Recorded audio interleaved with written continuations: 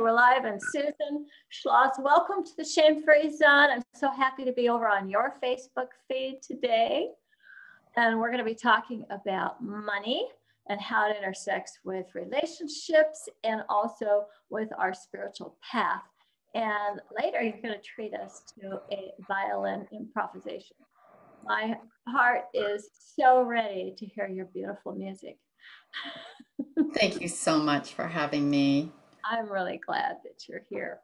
Um, your people know who you are, but this is also going to be going up on my YouTube. It's going to be going over onto my Facebook page at some point. So I want to make sure that I introduce our viewers to you. Um, and as I understand it, you're very passionate about facilitating breakthroughs in our relationship with money, which is, is actually a place where we experience a lot of shame and you're a certified money coach and you combine some really interesting things that I've never heard anybody doing before. so you've got the financial expertise and the intuitive inspiration. Um, and you guide your clients to ground their spiritual into the material. That is so awesome. That's actually what I do through sex, but you're doing it through money. So it's amazing. Um, and that that opens the door to greater prosperity in all levels. And that, that makes total sense to me that it would, but I can't wait to learn more about how we actually are able to accomplish that. You've got mm-hmm. over 20 years in the financial services industry, Susan. That's a lot. Um, you worked as an investment specialist, an operations manager, and you built a six figure bookkeeping business. I mean, seriously, who does that? That's amazing. You're kind of like a walking advertisement for your services. Um, you're committed to doing your part to change the system of dominance and oppression to one of equity and inclusion. That is such an important conversation for us to have around money because money does create a lot of power. Um, and particularly like when we're talking about relationships and couples, like who makes more money, that can become very problematic. So I'm looking forward to getting your insights on that as well. And you offer powerful tools to create deep shifts in a supportive environment of compassion and respect. And you aspire to facilitate transformation for anyone who struggles with money. So um, I know where I'd really like to start, Susan, if it's okay with you, is with the topic of money and shame. Because even just saying those two words together, and I'm the shame free zone, I find myself kind of going, uh, I could just feel feel a little tremulous around some shame issues around money. It really doesn't matter if I've made a lot of money or a little bit of money. It seems like that shame is is kind of there all the time. So can you tell us a little bit about why you think we have shame around our relationship with money? Well, shame in general gets passed down to us from our parents, and I know you must look at these things in your work as well. And so much of what is operating with our money dynamics is in the nervous system from the imprints we got as children. And shame is a part of that. That's that's a big part of it. And the other thing is that our culture is so money oriented and your value is associated with how much you have, is associated with your success and which we know isn't true, and yet those messages are so strong. So that can bring up shame for people. I just had someone this morning feeling ashamed because he didn't feel he had really accomplished the mastery with his money that he should or that his father thought he should. And so a lot of shame can come up around that. Yeah, you know, Susan, I'm thinking about how, for me, growing up in my father's household, and my father was very uh, domineering, oppressive, and actually abusive. But um, remember him saying to me something that was really pivotal in my relationship with money. He said, um, when you start making the money around here, maybe somebody will care what you think. It was really saying to me that my opinions only mattered if I had money.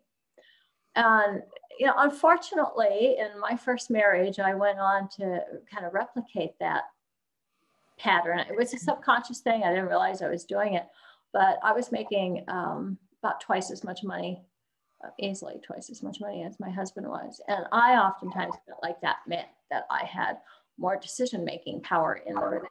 Right. Can you talk about that a little bit about how that um, dominator system can infect our personal relationships? Absolutely. People who have a lot of money might feel like there's a sense of entitlement. And definitely, what I've seen in relationships is when the woman is making more money, she can feel very irritated if the man isn't kind of living up to her expectations around that or doesn't have the ambition that she has. So I do see that dynamic uh, frequently. And so people. You know, you know, you know, it's interesting. I actually enjoyed making more money than my husband, but I think it's because I thought that meant I got to be the boss. Yeah, it can absolutely give you that sense of power. Yeah. Yeah. You know, Susan, when we're talking about the shame thing, I intentionally walked away from a six figure income to go live in the woods uh, for eight years and uh, make very, very little money and just reconnect mm. with nature. And mm. um, it was such an important part of my spiritual development. But I notice sometimes that I'll even feel some shame about walking away from money. Have you ever experienced that in any of your clients? I don't know if I've experienced that specific dynamic, but it makes sense if you have that strong message of your value being associated with how much you make. And I, I feel like that was your soul calling to integrate that piece and just bring it up, really, that you're, you're divide, you know, separating yourself from the money to see who you are. And oh, oh, I think you just coached me, and I really liked it. That's that's great. I hadn't thought about it that way. Like I intentionally subjected myself to some of that shame so that I could become have a better sense of my value as a person as separate from how much money I make. Is, am I hearing you right? Yeah, and heal that shame. Yeah. Yeah, it has to come up before we can heal it. Right? Yeah. I like to think of those eight years on the mountain as kind of, I know it was a mountain, not a lake, but I still think of it as my Walden Pond. So it's like. What a beautiful thing to do. What an incredible thing to give yourself that time. That's great. I wrote a book and um, transitioned into relationship coaching and, and um, just so felt so grounded. I mean, I was so connected to nature. I always knew when it was going to snow or rain, or I mean, I could anticipate that stuff before it happened. That's so awesome. And then you've been able to create abundance from this place of groundedness and connection to nature, connection to a more authentic you. Yeah. yeah. And that's real abundance. Yes, it is.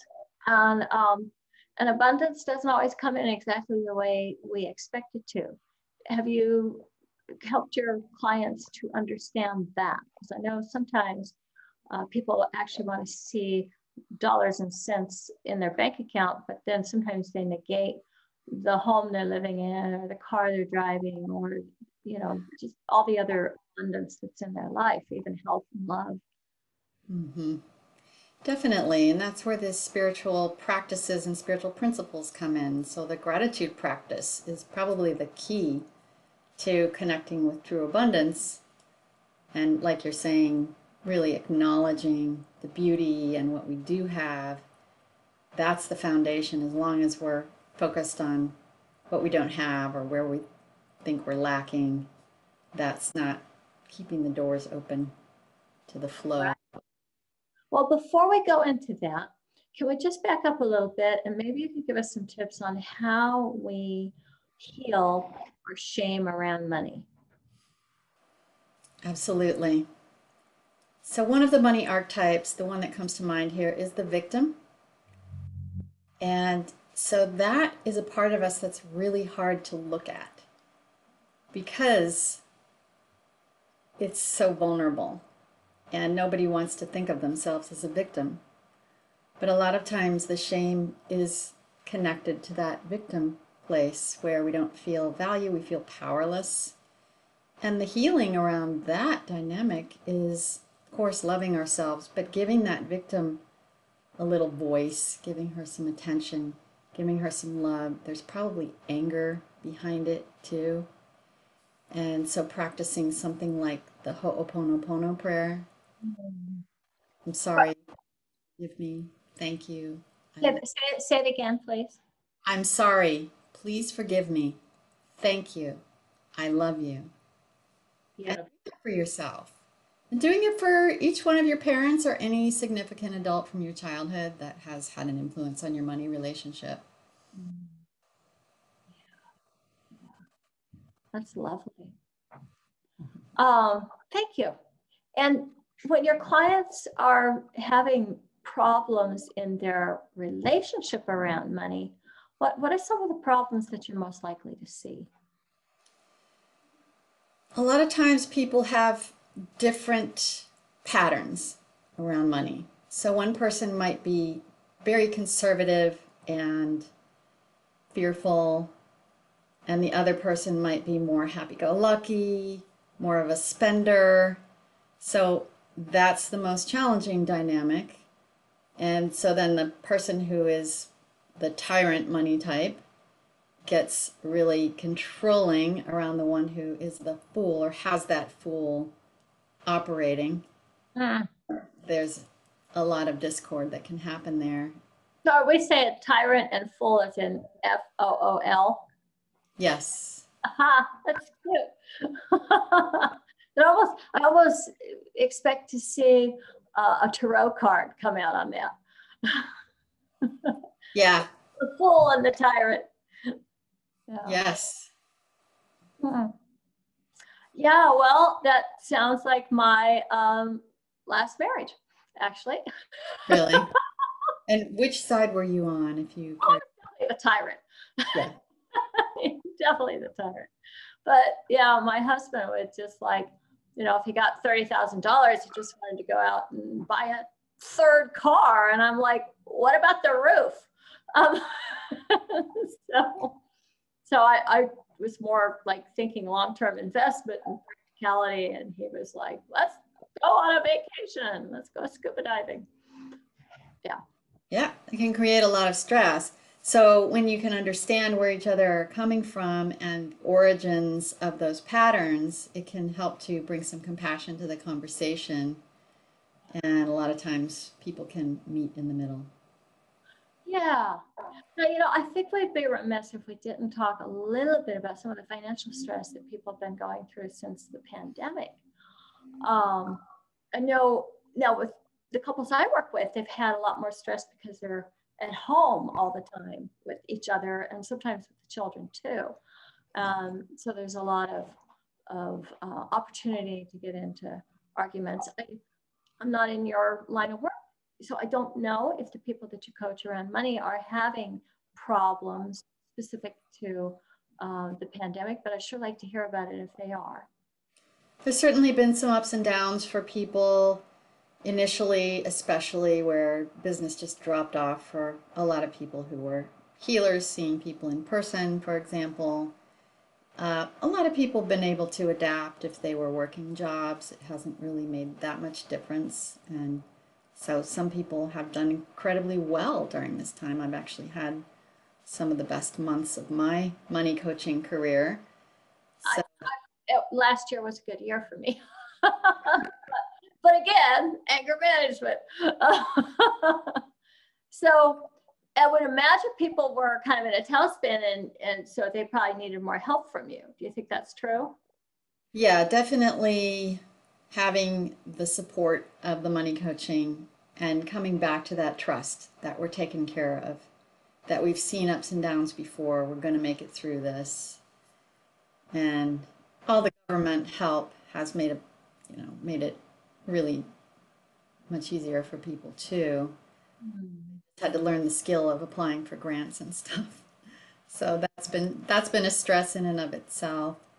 I think what you named about having kids at home has probably had the biggest impact for the people in my circle and just upheaval in their work lives and managing having that energy in their space and trying to focus, it's much more challenging.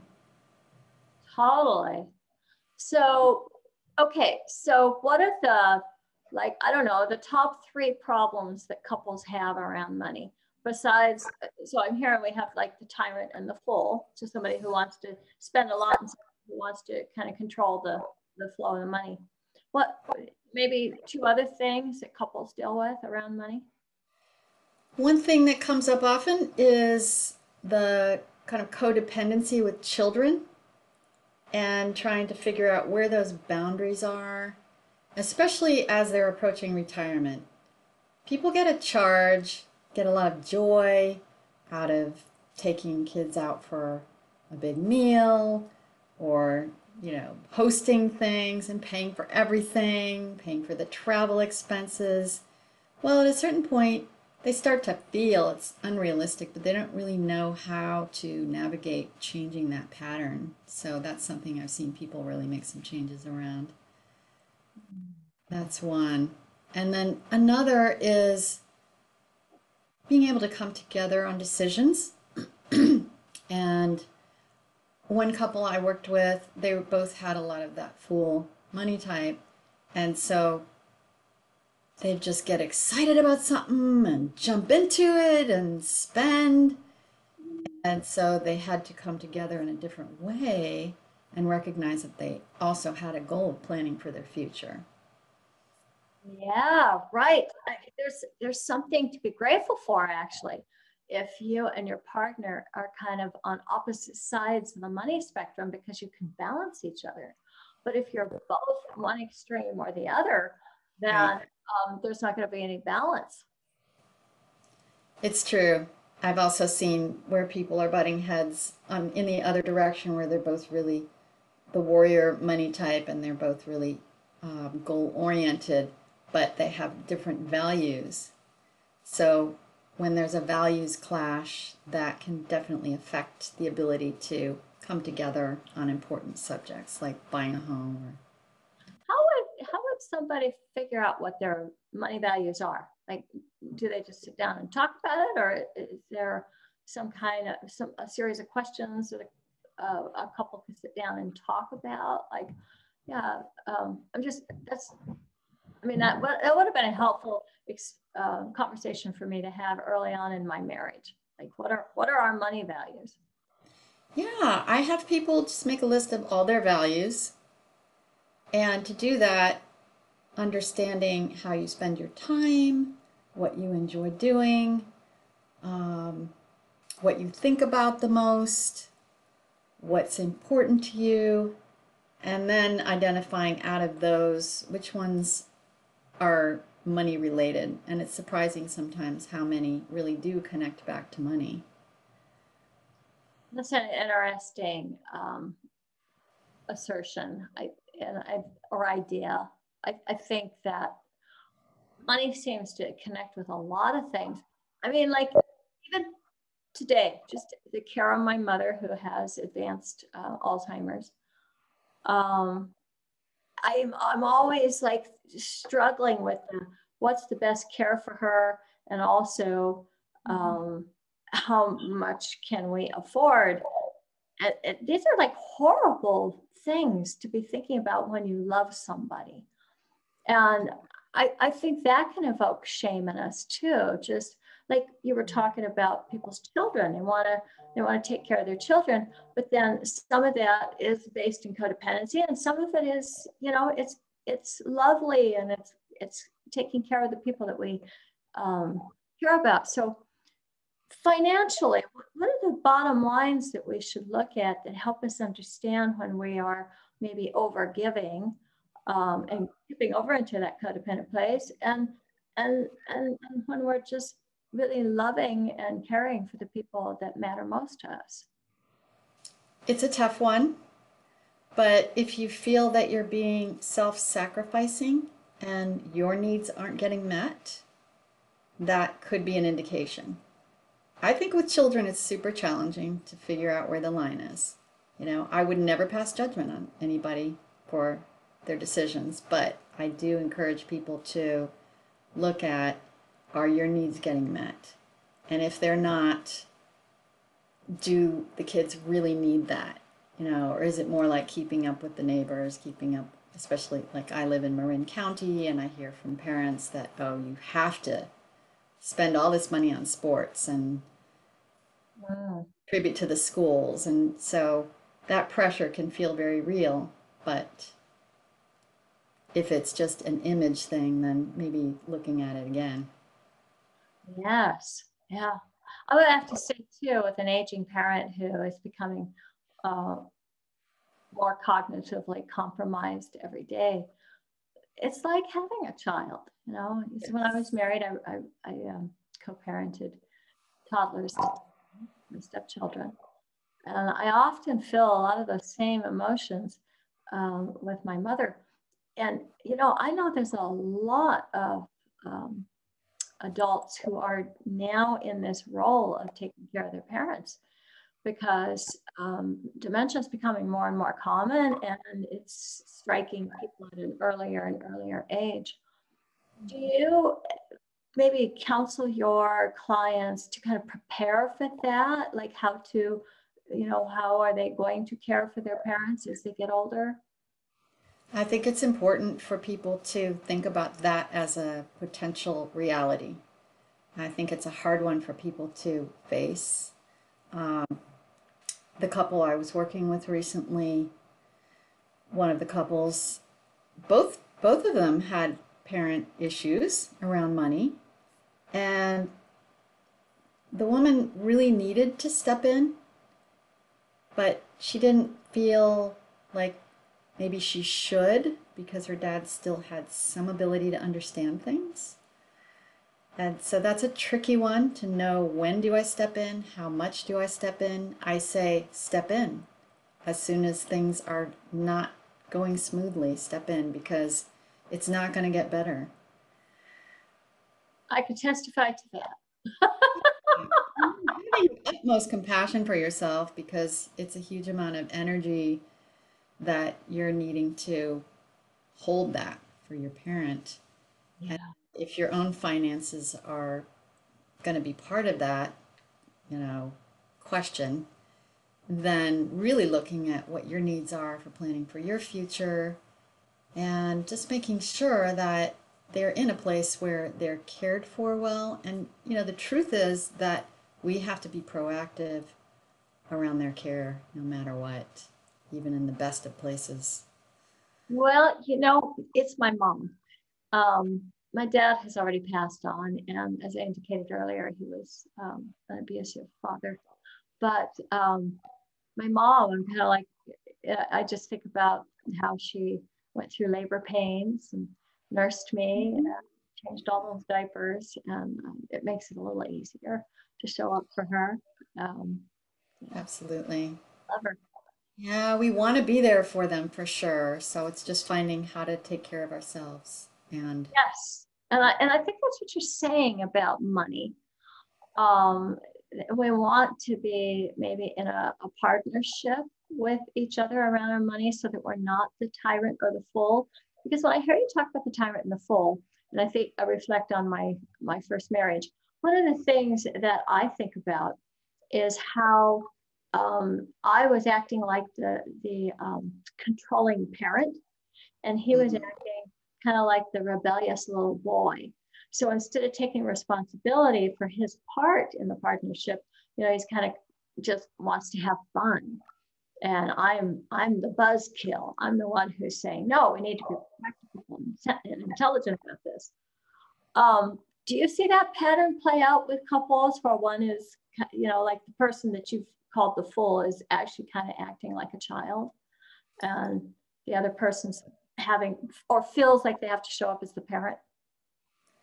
well, usually by the time they come to money coaching, there's an awareness of some impulsive spending and a need to get a little more grounded. But definitely, I see that dynamic. And but uh, probably more often, I see the tyrant not really aware of how they might be contributing to the dynamic because they feel so right, and they might be right. Totally. I I understand why that would be the case. Yeah, because you're like thinking, but I have I have logic and math on my side. Exactly. well, Susan, you really want to ground our relationship with the material uh, in the spiritual, or vice versa, both. I, I kind of see it as circular. Sure. Uh, there, but can you say a little bit more about that and what's the value in that? Hmm when people are struggling with money, there's a sense of maybe, um, you know, that feeling of powerlessness, uh, feeling of not trusting, a feeling of needing to control. And so when you bring the spiritual into it, which often doesn't occur to people no matter how spiritual they are, then that can really provide a foundation of security and that understanding that our security doesn't actually come from money ultimately. Say more about that. So, money is an energy, and there is a sense of security, and when there's more money, for sure, but it is temporary. You know, we don't have control over it, really. And so making sure that our sense of security, inner security, is grounded in spirituality. Also, feeling the spiritual aspect of money, money being an energy. And so when you're open spiritually, you can be open to that flow of abundance. And also, the other piece that comes into it is uh, there are a number of spiritual aspects that I bring in, but service.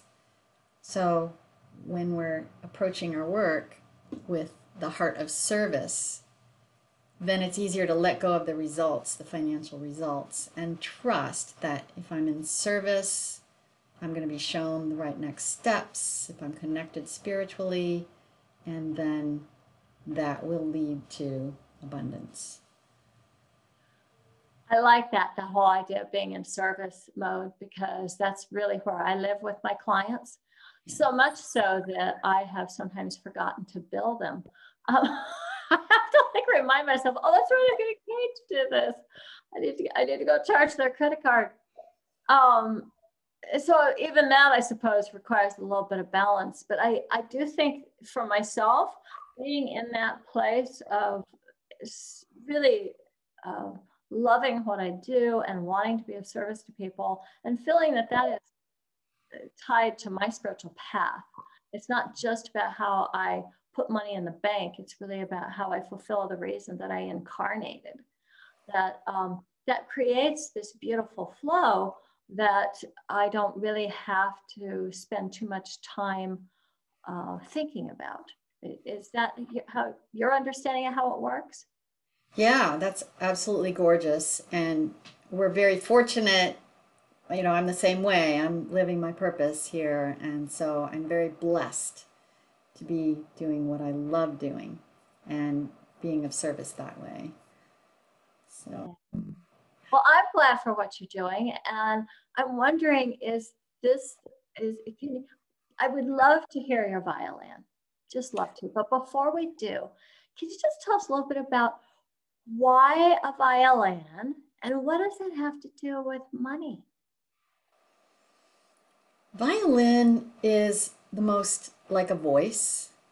And so there's there's a lot of capacity for emotional expression in the violin. And I've been playing since I was 7 years old, so I have a lifetime of playing the violin. I've been through, you know, college music degree and then periods where I did nothing but improvise. So what I love to do is to do a channel channeling the music through the violin. It's something that I would say is a gift that I have to just bring that spirit through the violin for as a healing tool. And it ties in with the money coaching in that it helps us connect to our heart, helps us connect to that spirituality that is so important as a foundation for staying open to prosperity. Oh, please lay it on us.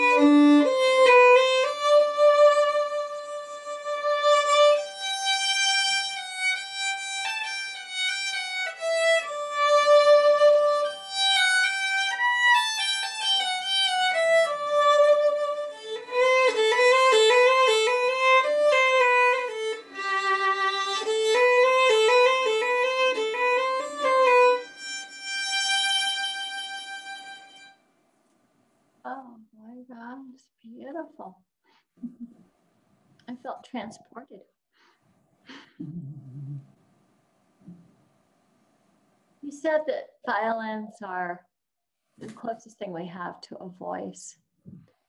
What could you help us understand what that was and why it felt so emotional? I, like I don't have words for it, and maybe you don't either, and that's okay. We don't have to overanalyze every aspect of life. Um, that was a beautiful gift, just as it is. But if there is some way that you could help us understand uh, what that was and why, it, what, what kind of feelings it evokes in us, um, I'm certainly open to hearing about that. I started by placing the bow on the open string D and just let the inspiration come through for what was next. And what I noticed is that it was a very hopeful melody that came in and the element of beauty, which is really associated with prosperity. If you know the goddess Lakshmi in the Hindu tradition, she's the goddess of beauty and prosperity. And so beauty is part of the prosperity conversation. And so that was what wanted to come through was just this pure sound of beauty, of hope, and love. Listen, I really feel like you just brought us back to how we opened this conversation, which was about gratitude. And, I, and it, to me, it seems like when we are grateful about the beauty in our lives, then we open to a divine flow. And um, and it seems that your violin is one beautiful way to open to that flow. Would you agree with that? Yes, I would agree with that. Absolutely. well, I am so appreciating our time together. Um, I'm going to be listing all of your links below um, my Facebook feed and my YouTube. But, but um, if you want to take this final few minutes to just tell people how they can contact you, um, then please do. Yes, so I'm at moneywisdomcoach.com and visit my website there and you can join my list and you'll find out about events that are coming up. I do webinars regularly and classes and programs everything that people need to really make some changes that are calling to them. And um, you can take the money type quiz at my website as well. Yeah. I'm going to take that quiz. Where you are today. It's not your personality, it's not set in stone, but it'll give you a sense of where you are right now. That is great. So the money type quiz is on your website. Yes. All right. All right. I always like to ask this one last question, Susan. Um, and that is, what is the one question that you wished I asked that I didn't? Let's see. Um, maybe just to share a little bit about my own journey, because I think people like to hear that. You shared a lot about your own yeah. journey with your mom and uh, i think that that would personalize it a little for people so for myself please uh, growing up in a dysfunctional household with abuse as well and sexual abuse from a very young age had a really big impact on my self-esteem which we didn't name it as self-esteem but that shame and self-esteem are tied together so closely so my survival was to stay small, to stay safe. And I just kept everything really small for a lot of my life. So my journey has been to heal that history, which I've done tremendous amount of healing and I feel very free today. And I feel very open to receiving and taking up more space and being more visible. So that's been my own journey. I really appreciate what you just shared, Susan, because uh, I'm also an incest survivor. And it was also my safe place to be small. I wasn't always small because I'm a rebellious, outspoken Aries, but um, safe, if I, if I wanted to be safe, I, I had to make myself small to the point of sometimes trying not to breathe too deeply. Mm-hmm. So, again, working with you today, I just got another connection, which is that sometimes when I have not wanted to show up in my profession and monetarily in as big a way as I'm capable of, it's been that old programming of staying small so that I don't get hurt. Yes. Yeah. Yeah. Well, I just, I'm giving you a virtual hug. and I'm so glad that we um, got this time together. And really grateful for the gifts that you bring into this world. I, I think it's so important that we take money out of the dominant patriarchal paradigm and put it into something that is spiritual and um, life affirming. And you're doing that work, Susan. So thank you. Thank you.